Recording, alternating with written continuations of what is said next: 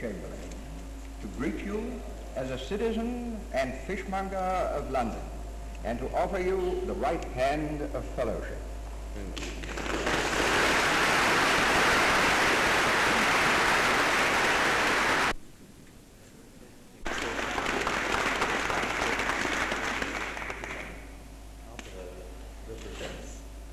on behalf of the citizens of London.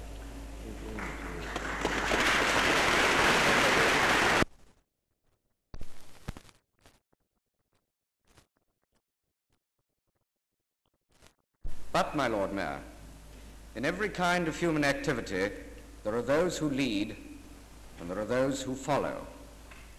You have honored the leaders.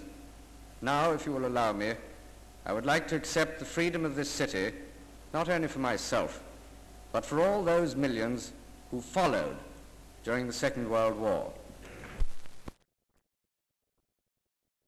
The ideal that my wife and I have set before us is to make the utmost use of the special opportunities we have to try to bring home to our generation the full importance of that contribution and the effort, both at work and at play, that is required of us.